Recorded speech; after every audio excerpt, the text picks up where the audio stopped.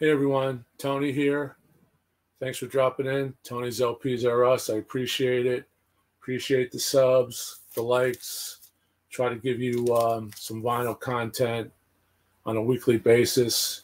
We've been doing a uh, probably a video every couple of days. I do a lot of shorts, but I don't con- even consider that any preparation. We basically uh, use the YouTube soundtracks, which are great now. We could actually use one minute, and I like to showcase some of my OG records that way. So I've been getting a lot of success with those. I really appreciate it. But today I'm online, and actually I was alerted because I subscribed to the Roger Waters uh, YouTube uh, uh, page or site, and today he dropped his video on his announcement of the Dark Side of the Moon redo, which is coming soon, and pre-orders are now available for an October drop. Uh, we talked about that in a previous video. What I'm going to do is I'm going to show you the video with the um, closed captions so you could see what Roger has to say. And he's basically not saying anything that is extraordinary or new. He just feels that after 50 years, the world is in not a, a better place, but or not a worse place, but not a greater place than it was when he recorded the dark side of the moon in 73 or 72 um, so we're going to watch that video. He's also going to go over the band members who are in that band and i've looked that up. Uh, a lot of those names were new to me some weren't and i'll just uh, relay that to you. And you could catch the video of course on youtube but i'm just going to play it here through my uh, my low, this is a low budget video, uh, low technology. I'm just going to put it on my uh, tablet and you could read along. When he gets to the band members, I will go over those with you and then that's it. So thanks again. And if you haven't subscribed yet, please subscribe. And this is uh, Tony's LPs Are Us. Here we go.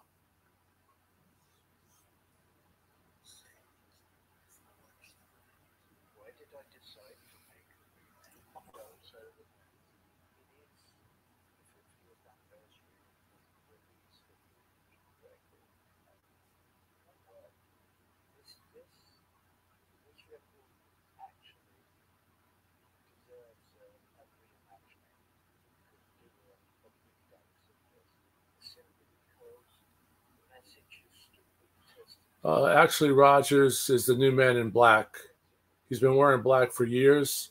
But when I saw him on this, I'm thinking Johnny Cash reimagined, perhaps.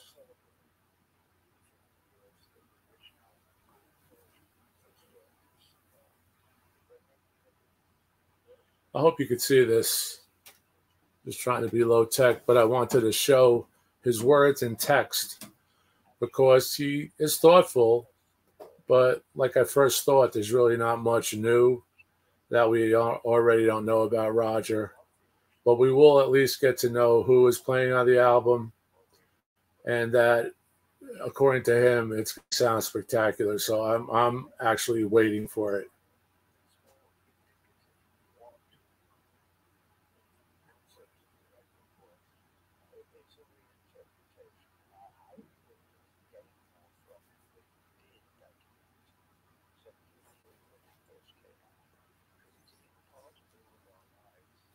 Yes, it's been part of our lives for 50 years. That's a fact.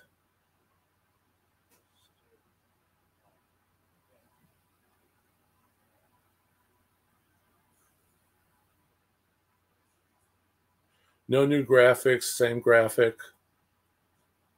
I thought he was going to actually play a few more of the tunes, the reimagined tunes, but he didn't. He just talked about the band and the uh, musicians. Here we go.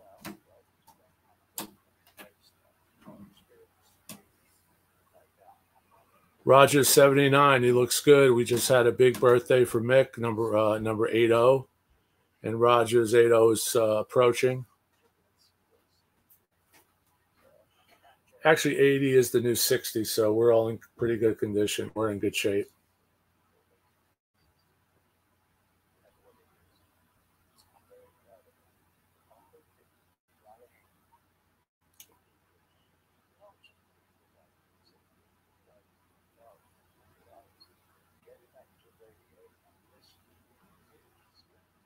Get back to radio.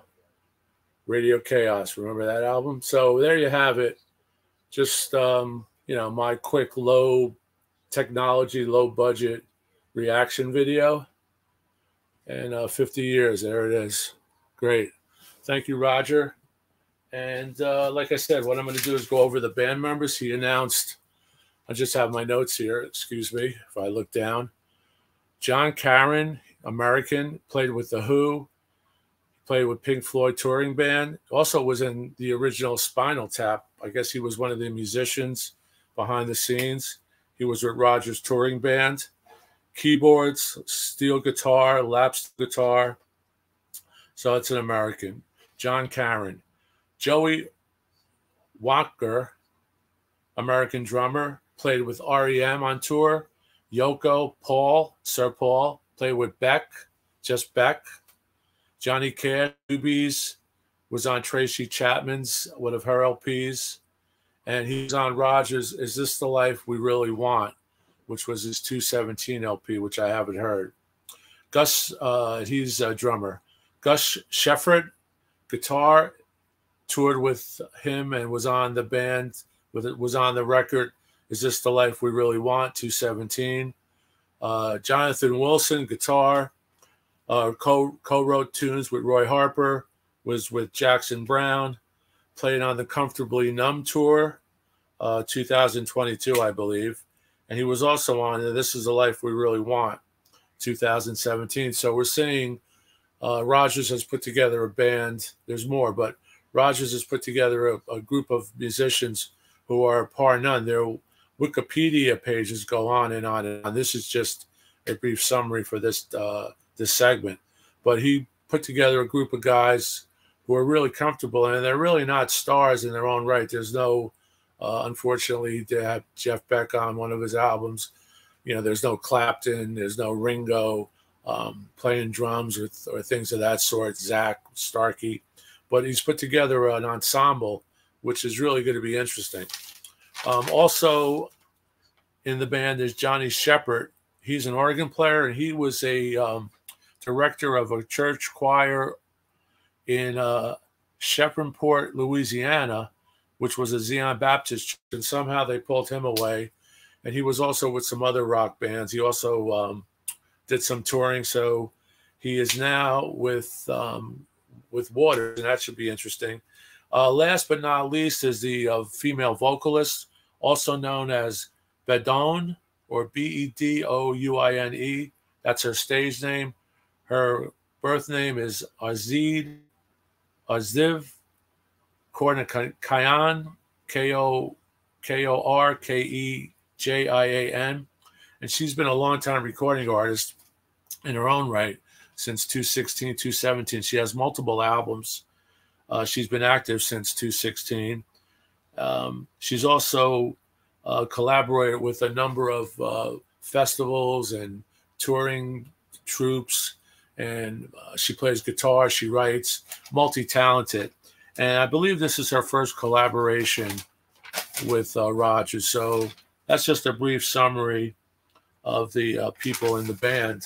And I'm really looking forward to this. And I guess everyone else is. You know, 50 years. Here we have it, the 50 year anniversary, which was the live concert that was originally released this year. And um, there you have it. So if if uh, you leave a comment, if I left somebody out or left something in that I shouldn't have, please let me know. Please comment and like. Please subscribe if you haven't already. And like I said, we really appreciate all the uh, subs, and we hope that you are looking forward to this Roger Waters LP. And like Roger said, it it needed a rediscovery, and if you think about it, uh, why not have him do it?